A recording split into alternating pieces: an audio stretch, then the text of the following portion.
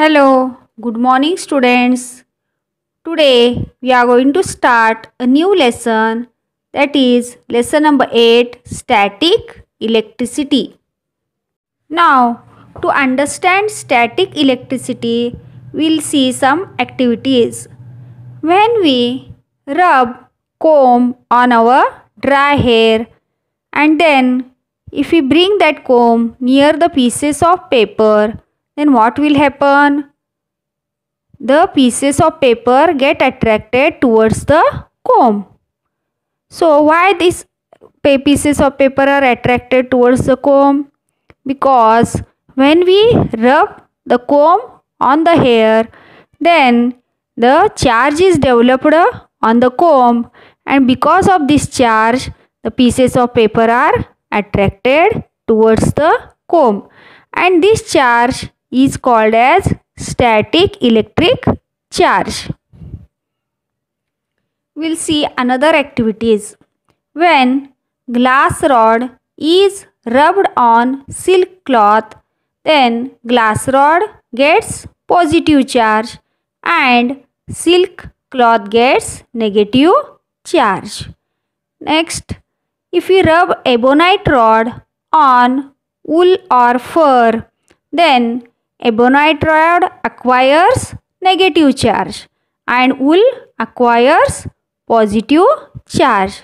So, to understand static electricity, you can perform these activities yourself. Rub one end of a glass rod against a silk cloth and suspend this rod freely in air with the help of a thread. So now charge another glass rod in the same manner and bring it near the suspended rod. So what will happen? The two rods push each other away. Due to repulsion property between like charges, they repel each other. Both the glass rods are having the same charge, positive charge. Therefore, they push each other away. Now we'll see another activity. Take a plastic rod, rub one of its ends against a woolen cloth and bring that rod near the suspended glass rod. What will we will observe? The two rods are pulled towards each other because due to attraction between unlike charges means the glass rod which is suspended is having positive charge and the another plastic rod that is having negative charge. So as the unlike charges are there we can observe attraction property. So two rods carrying similar charges push each other away. This is called repulsion. And two rods carrying opposite types of charges get pulled towards each other. This is called attraction. The origin of an electric charge. All substances are made up of particles and these particles are ultimately made up of very tiny atoms. Each atom contains a stationary positive charge and moving negative charges.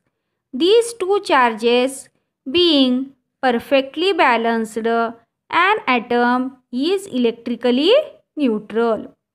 All objects are made up of atoms which means that they are electrically neutral. Then how do objects become electrically charged?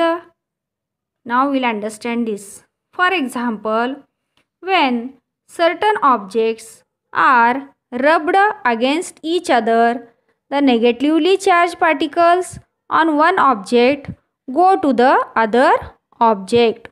The object to which they go becomes negatively charged and the object from which the negatively charged particles go away becomes positively charged.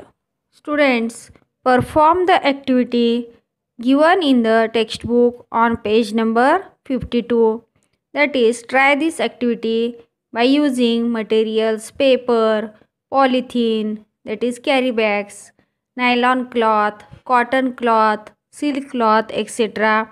And then perform the activity by rubbing the these substances against the substances given in the table that is balloon, ball pen refill, eraser, wooden ruler, steel spoon, copper strip. So rub these materials against the materials given in the table and record your observations in the table and write this activity in your classwork last 10 pages. About 2500 years ago, a Greek scientist named Thales found that feathers are attracted towards a rod of yellow colored amber which had been rubbed against a woolen cloth. So, amber is called electron in the Greek language. Therefore, this property of amber to attract things was named electricity by the scientist Thomas Browne in the year 1646 AD. Now we'll study about frictional electricity. The electric charge generated by friction is called frictional electricity. This charge is produced only at the place of friction. Hence, it is called static electricity. So, when we rub two objects on each other, then the charge is developed and such type of charge is called static electric charge and it is developed due to friction. So, it is called frictional electricity. Now, we'll observe one activity. See, place a straw on a bottle, take another straw near it and observe what happens.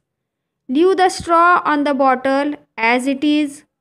Rub the other straw against a woolen cloth and take it near the straw on the bottle. Again observe what is happening. Now take two straws and rub them against woolen cloth at the same time. Keep one of the straw on the bottle and take the, take the other near it. See what happens. Keep the rubbed straw on the bottle as it is. Take the woolen cloth on which it was rubbed close to it.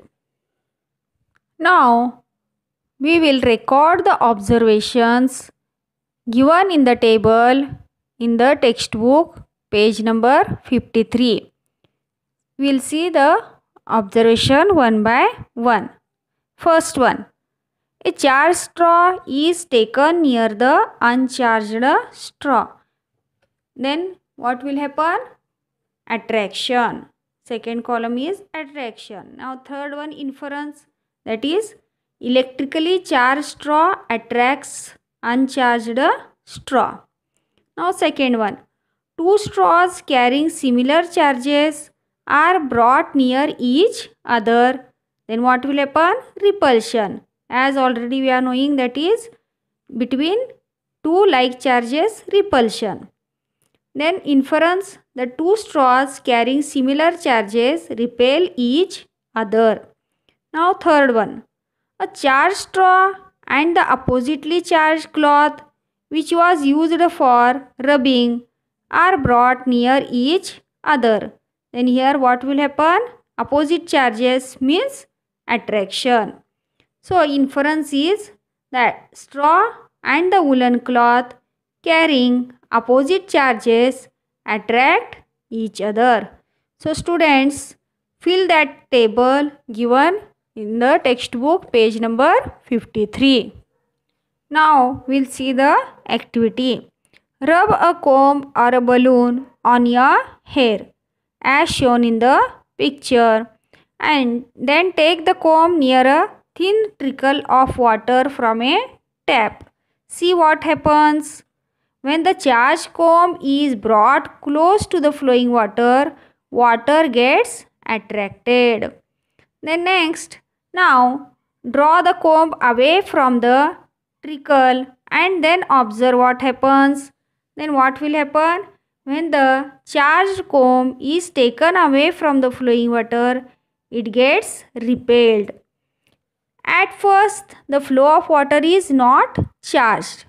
When a negatively charged comb comes near the flowing water, that time the comb has negative charge and the water has positive charge. Due to the attraction between these opposite charges, the flowing water is attracted towards the comb. When the comb is taken away, the negative particles in the flowing water come back to their original position and the water becomes uncharged again and stops getting attracted to the comb as it, it is away from it. Always remember the number of positive and negative charges are equal on an uncharged or neutral object. The electric charge generated by induction stays only as long as the charged object is near to it. I hope you understood the topic. So for better understanding, read the topic once again and do the given homework.